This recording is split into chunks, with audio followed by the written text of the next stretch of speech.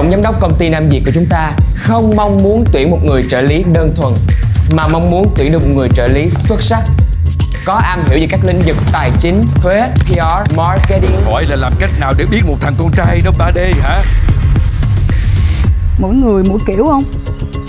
Mặc hoa hòe, đi chơi với con trai, trang điểm nữa nha ông. Tốn thời gian đi gym.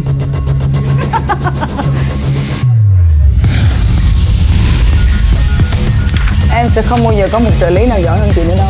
Đừng vì chuyện cũ mà hỏng chuyện mới. Nhưng mà hiện tại trên thị trường nó có rất là nhiều cái dòng lon pha sẵn. Ồ, con cái mua hết tôi được có.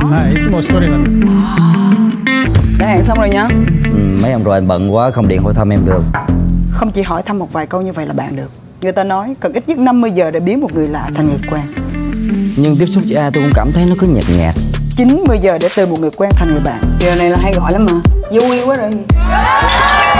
Và 200 giờ để trở thành bạn thân. Vậy cô có bạn thân không? Có.